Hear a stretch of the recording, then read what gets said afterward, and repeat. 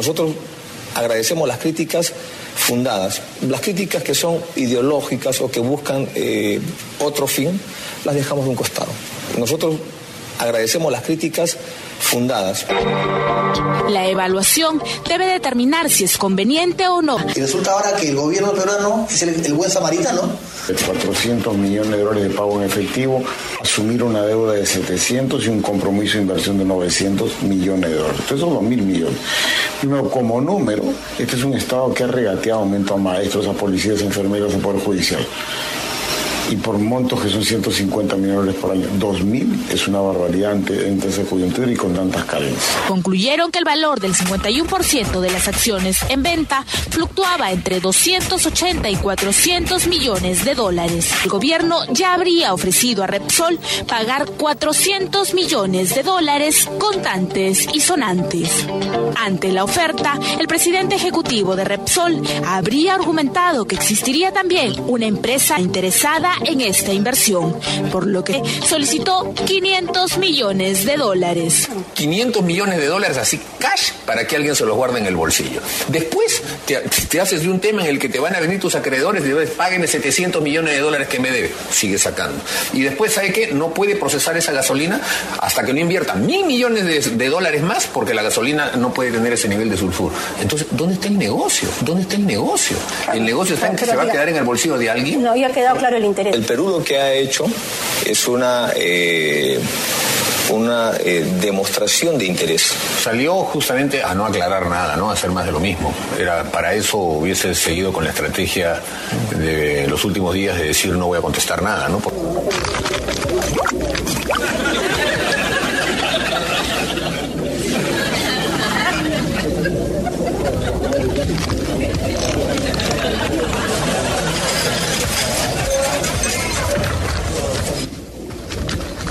Porque es exactamente lo mismo.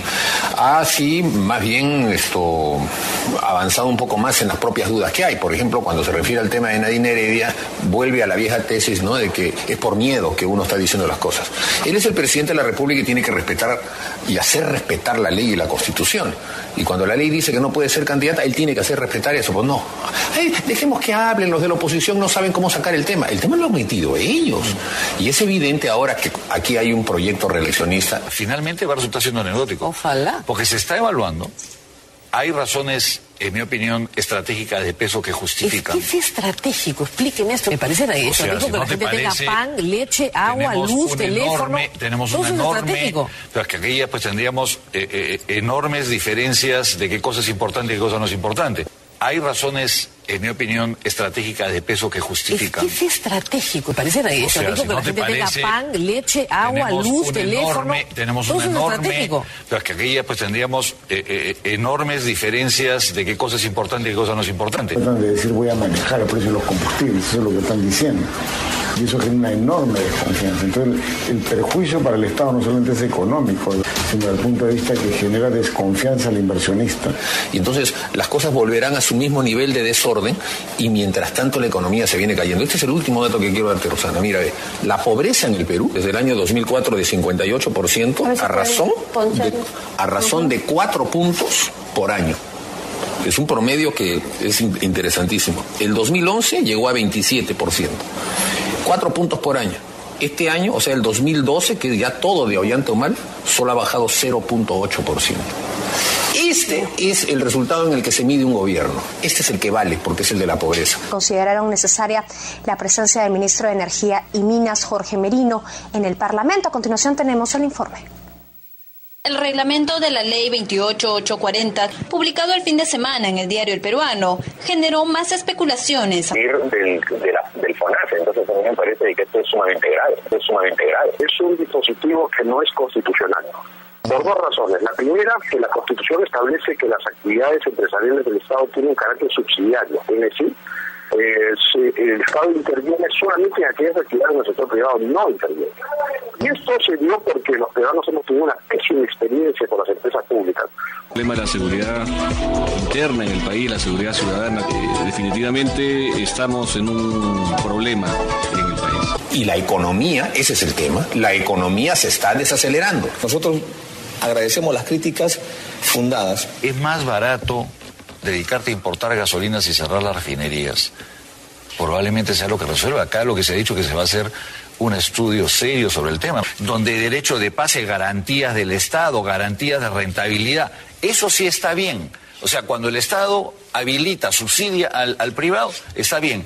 Cuando pensamos en una inversión para poder tener un precio de combustible que no sea usurero como es el que tenemos en este momento, va a bajar el precio del combustible. Definitivamente. Vamos a darle la palabra, señora. Bueno, la conclusión final de todo lo que ha dicho Daniel es que el Estado pretende empezar a controlar precios, no vía organismos reguladores, sino vía reemplazando la actividad privada. Eso lo acaba de decir Daniel Abugatás en su lenguaje muy pedagógico y muy popular. Cuando él habla de, por ejemplo, de APN, que se han entregado recursos, en el caso de APN, 200 millones, ¿sabe quién es el que daba todas esas opiniones? Su autor ministro de Economía la forma como lo presentas. O sea, los privados son los malos, son los usureros. Los privados son los malos, son los usureros. Son los usureros, son los usureros, los que se lucran.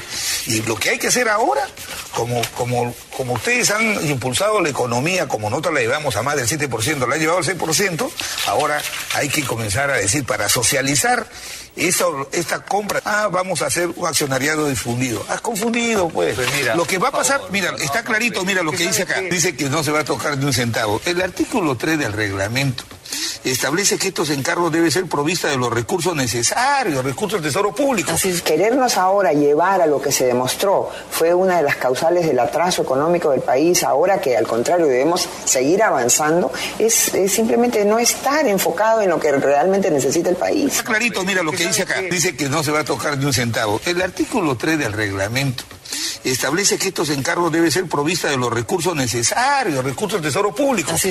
Pero como, como, tienen que, como tienen que levantar la valla del artículo 5 del decreto legislativo 1031, que es el que hay que concordarlo con esto, que, establece el, rol empresarial del, Estado? del Estado, cuando se tratan de recursos del Tesoro Público, eso tiene que ir al Sistema Nacional de Inversión Pública. Pero en este caso no. ahora lo retiran exprofesamente lo retiran, pues tienen que ir al Sistema Nacional de Inversión Pública. Pero en este caso no. ahora lo retiran exprofesamente lo retiran. Que el ministro, eh, el ministro de Economía y Finanzas no un vasito de agua, por favor. Finanzas no un vasito de agua, por favor. Finanzas no un vasito de agua, por favor. ¿Por qué el ministro de Economía y Finanzas no firma este decreto supremo? ¿Por qué el ministro de Economía y Finanzas no firma este decreto supremo? Y luego, como dice, como dice el señor Velázquez, que, porque es un sectorial, lo firma el ministro de Energía. Pero se retira del sistema integrado de es que no se puede, Mira, eh, para comenzar, el que preside la Junta de Accionistas de Petro Perú es el ministro de Economía y Finanzas, si no me equivoco. Pero no firme esto. Pero ese es un tema sectorial del Ministerio de Energía y Minas. ¿No, cree que hay un problema adentro que no le han contado? Si nosotros viniéramos tomando, digamos, decisiones económicas trilladas, jaladas de los pelos, eh, como las quieran llamar, ¿Por qué de la noche a la mañana han decidido que ahora vamos a hacer este, eh, cosas antitécnicas, que vamos a ir en contra? ¿En qué momento? ¿En qué momento? O sea, ¿por qué? Porque, hubo un viaje del presidente a la suma. ya somos chavistas. No y de ahí quieren comprar Petroperú, la refinería de La Pampilla. Estamos afirmando valores democráticos. La Constitución establece algo fundamental y eh, prohíbe la reelección para afirmar un valor que es fundamental hoy en una sociedad moderna, que es la alternancia y que la plataforma del Estado no se pueda utilizar para generar, eh, o por lo menos eh, poner de costado el principio de neutralidad que se tiene que tener en el manejo del Estado. Ahora, yo tengo el mayor de los aprecios y respeto por la primera dama, yo considero que es joven, inteligente, es protagónica, que ayuda a su esposo muy bien, perfecto. Pero si está utilizando toda la plataforma del Estado para ayudar a su esposo, el avión presidencial, ahora tienen su Dream Team, tienen funcionarios que ganan un poco más que... su equipito. Entonces, todo eso está bien pero si ya la bancada, su bancada lidera toda esta corriente, no que, que la ley no tiene nada que ver mientras la constitución no prohíba y puede ser la, candidata, entonces eso genera preocupación. Que ahora ahora porque están cosechando lo, que hicieron los gobiernos anteriores, navegan con un nivel de popularidad del 50% no da de ninguna manera. No lo ha bajado seis puntos, Tiene que haber una definición si la señora va a ser candidata o no. Si va a ser candidata, que baje el llano y que haga su campaña. Si existe algún manto de duda sobre la utilización de algún tipo de recursos que se hagan las investigaciones. Bueno, pero va a ser candidata o no. Rosa María, yo creo que enfocarnos en ese momento y darle la vuelta y vuelta a ese tema, ¿hasta dónde vamos a pero seguir simplemente con lo pues se mismo? dice que no, ya está, listo. Pero se que yo no acabó puedo responder que las leyes con nombre propio se acabaron. Bueno, ojalá, ¿no? Ojalá, porque nos den tranquilidad entonces- a todos. Ahora, nos da tranquilidad entonces en el tema de Nadir, no hay ley con nombre propio. Muy bien, anotemos esto. Pero, viraje a la izquierda sí ha habido esta semana.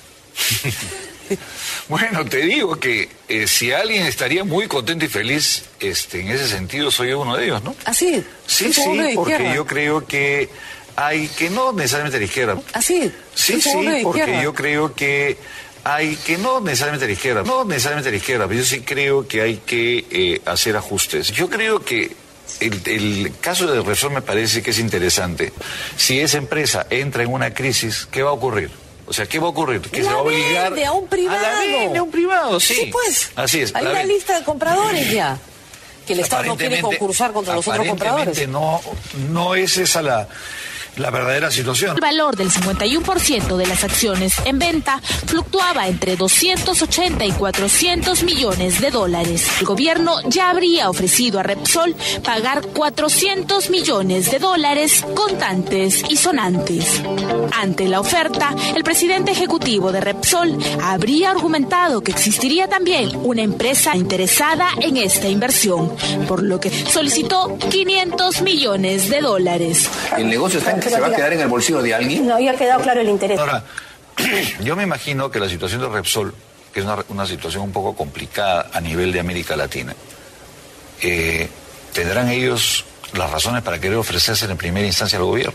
El negocio está en que se va a quedar en el bolsillo de alguien. No había quedado claro el interés. Segundo dato, Rosa María, es que van a comprar todas las avícolas para poder vender el pollo a solo el kilo, porque esa es la Claro, propuesta. porque de- también hay que hacer Claro, pollo. es estratégico el Es pollo. estratégico el pollo también. Este, Ensi, Ensi. Esas malas experiencias no hay que ¿ah? replicarlas. Por eso, hay pues, que ¿usted dejarse cree los que somos privados, tontos? o sea, No vamos a replicar, eso es absolutamente Ya lo claro. dijo Nadine Heredia ayer. que y las- el presidente la- la Humala empresa que también. tiene Daniel también pudiera la- sus utilidades compartirlas con sus trabajadores. Las tiene que compartir, es la ley, es la ley. Muchas gracias a los dos por haber estado con nosotros esta mañana. El problema de la seguridad interna en el país, la seguridad ciudadana, que definitivamente estamos en un problema en el país.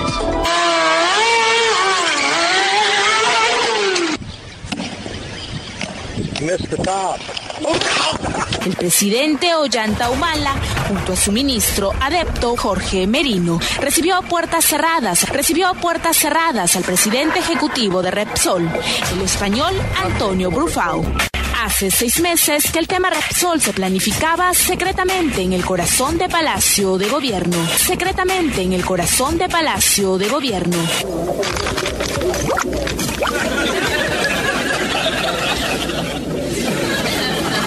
Secretamente en el corazón de Palacio de Gobierno.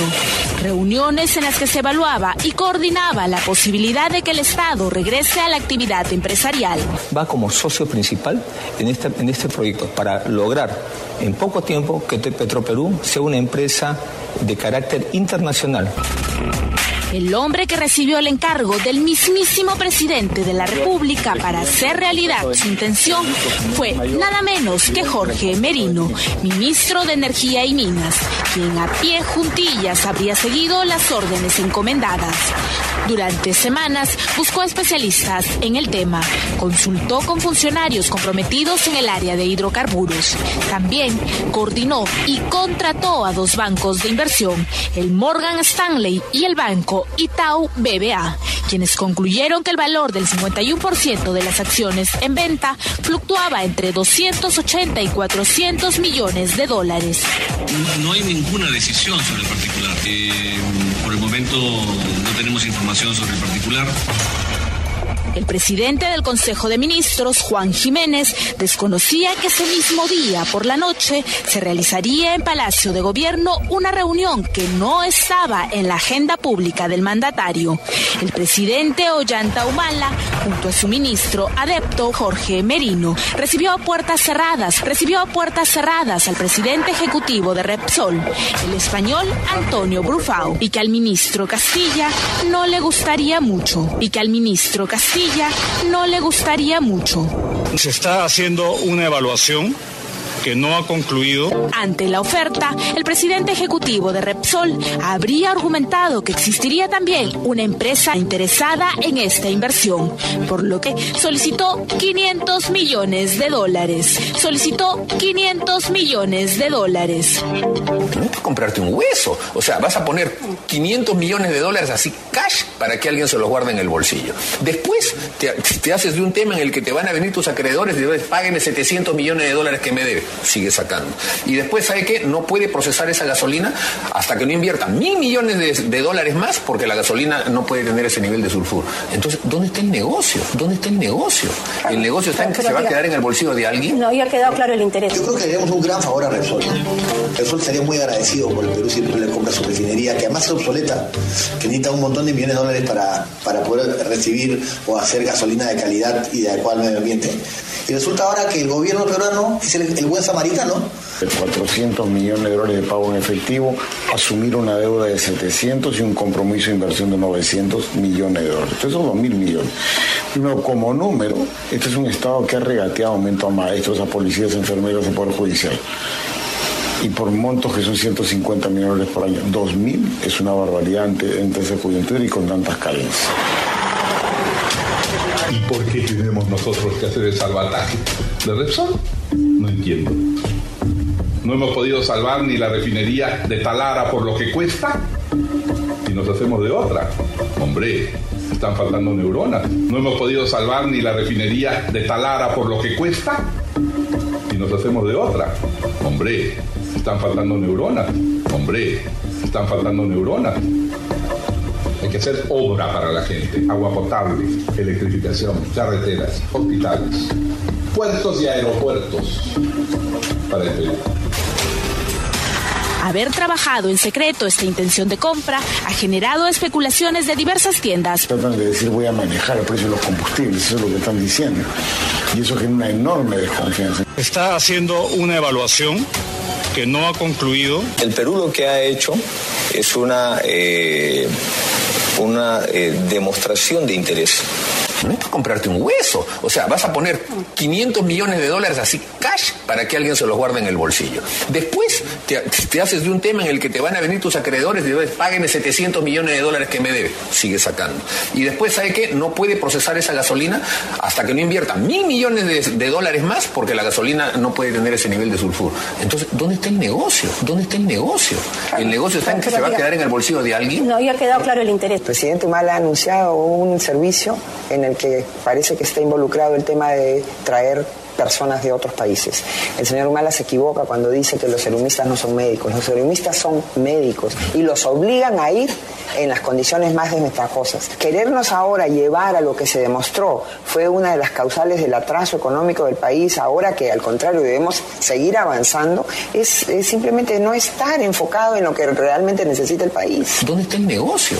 ¿El negocio está en que se va a quedar en el bolsillo de alguien? No había quedado claro el interés. Querernos ahora llevar a lo que se demostró fue una de las causales del atraso económico del país, ahora que al contrario debemos seguir avanzando, es, simplemente no estar enfocado en lo que realmente necesita el país. El Perú lo que ha hecho es una, eh, una eh, demostración de interés. Él ahora ha hecho esta entrevista y tiene la plena seguridad que dirá, ya cumplí y dentro de cuánto, dentro de un año hará la siguiente entrevista. Y mientras tanto la economía se viene cayendo. Este es el último dato que quiero darte, Rosana. Mira, la pobreza en el Perú desde el año 2004 de 58% a razón, de, a razón de 4 puntos por año. Es un promedio que es interesantísimo. El 2011 llegó a 27%. 4 puntos por año. Este año, o sea, el 2012, que ya todo de Ollanta Humala, solo ha bajado 0.8%. Este es el resultado en el que se mide un gobierno. Este es el que vale, porque es el de la pobreza. El, periodista no ha sido acucioso de ninguna manera. El, señor Humala se ha quedado a, medio camino e incluso ha, recibido una, una pregunta que lo ha salvado de la respuesta anterior, no lo han repreguntado. Entonces yo creo que es una, es una entrevista improductiva desde mi punto de vista del ciudadano que necesita tener definiciones. El Perú lo que ha hecho es una... Eh, una eh, demostración de interés. Salió justamente a no aclarar nada, ¿no? A hacer más de lo mismo. Era, para eso hubiese seguido con la estrategia de los últimos días de decir no voy a contestar nada, ¿no?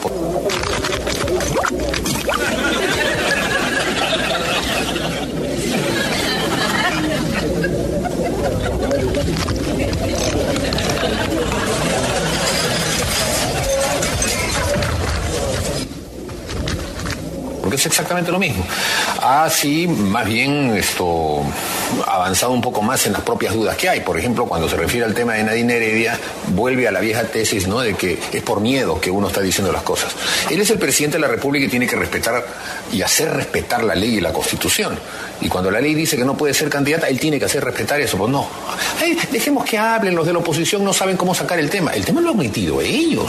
Y es evidente ahora que aquí hay un proyecto reeleccionista y entonces todo el Estado va en función de eso. Y yo ya he asegurado que el tema de Repsol también tiene que ver con el proyecto relacionista. o sea, el grave problema es que cuando llega un gobierno y en lugar de gobernar se dedica a, que, a tratar de quedarse, es que todo lo que hacen, Repsol o las pocas obras que esté haciendo, que no está haciendo ninguna, y ahora te puedo demostrar que el tema de fondo, él se le ha pasado toda la entrevista diciendo, yo estoy trabajando por el Perú, estoy trabajando por los pobres. Esa es la parte en la que han debido repreguntarle, ah, tú estás trabajando por el Perú.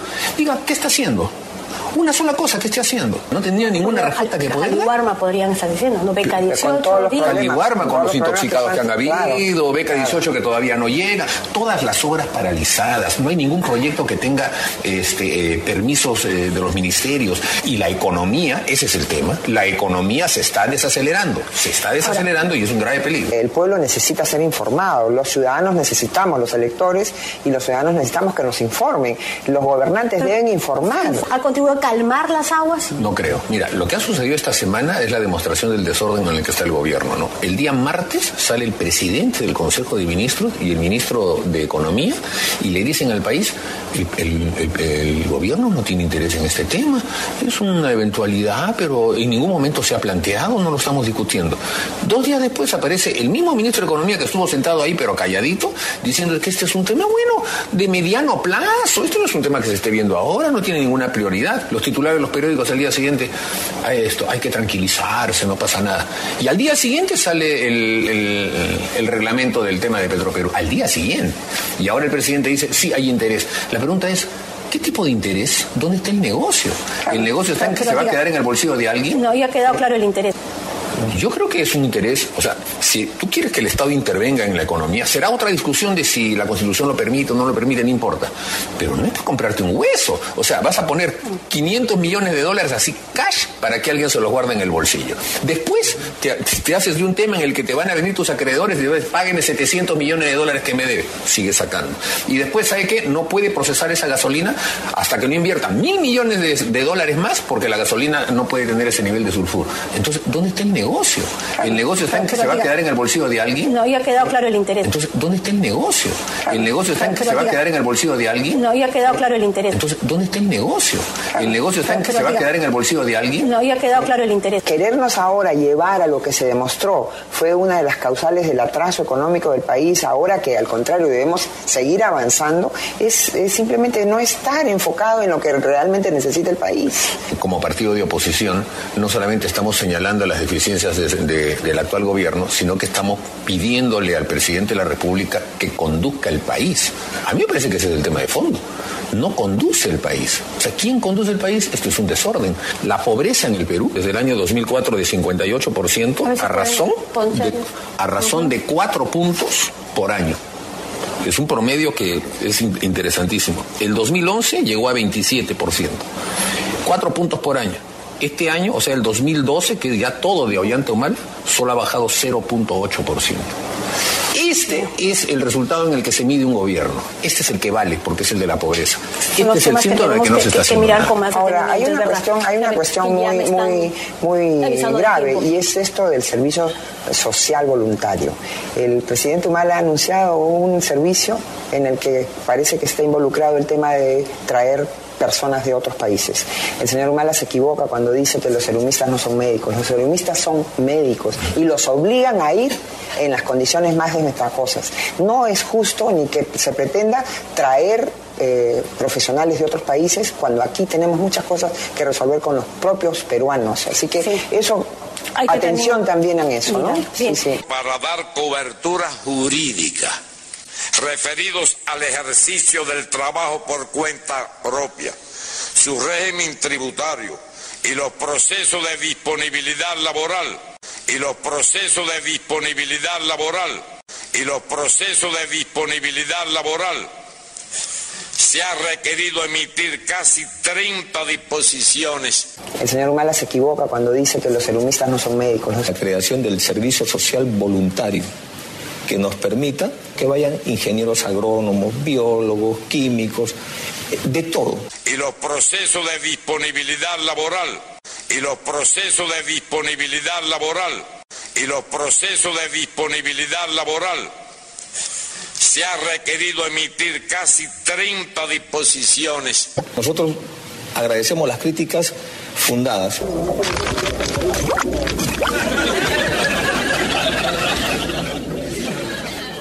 Tenemos plena conciencia del daño que ha ocasionado a la política de cuadro durante años el fenómeno de la pirámide invertida. Es decir, que los salarios no están en correspondencia con la importancia y jerarquía de los puestos de dirección ocupados, ni existe la diferenciación adecuada entre unos y otros, lo cual desestimula la promoción de los más capaces hacia responsabilidades superiores en las empresas y en los propios ministerios. El tiempo que nos queda es corto para dejar el rumbo trazado y algunas otras cuestiones importantes resueltas.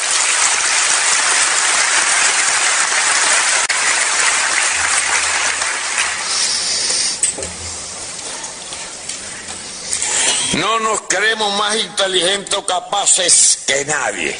Sí estamos convencidos que tenemos el deber elemental de corregir los errores que hemos cometido en estas cinco décadas no teman buscarse problemas por enfrentar lo mal hecho.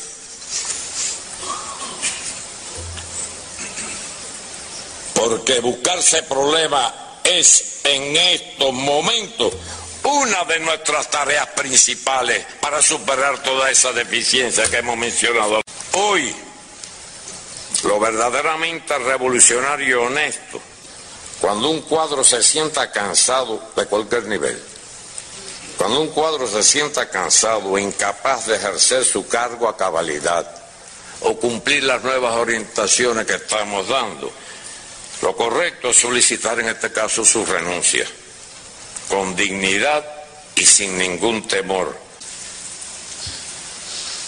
O sea, el objetivo, entre otras cosas, es reforzar la institucionalidad del país y eliminar tantas prohibiciones irracionales que han perdurado por años sin tener en cuenta las circunstancias existentes, creando el calvo de cultivo para múltiples actuaciones al margen de la ley, que frecuentemente dan lugar a la corrupción en diferentes grados, en distintos grados.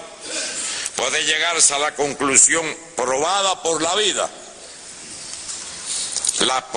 de que las prohibiciones irracionales propician las violaciones, lo que a su vez conduce a la corrupción y la impunidad.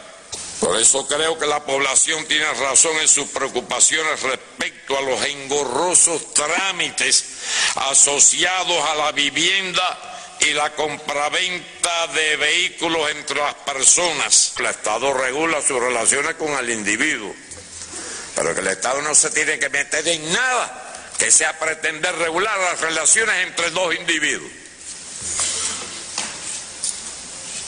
Y que si yo tengo un carrito, un cacharrito, lo que sea, un almendrón, como le llama ahora, y es mío, tengo derecho a vendérselo al que me dé la gana. Cumpliendo también las regulaciones del registro del propietario.